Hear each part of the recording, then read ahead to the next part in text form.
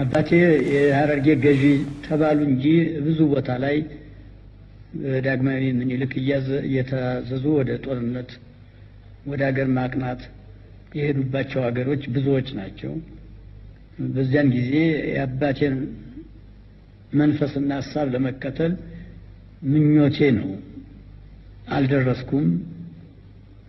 የእሳቸውንም ስራ ዘወትር ሳደንቀው የሚኖር ነገር አባቴ ቆፍጣና ወታደር፣ የታመኑ ወታደር ገዢ ከመሆናቸው በቀር ለመሆናቸው አድዋ ላይ ቆስለው የመጡት ሊመሰክርላቸው ይችላል። ከዚያም በቀር በአገር ማቅናት በሀረርጌ ብቻ ሳይሆን በሌላው በኩል ሁሉ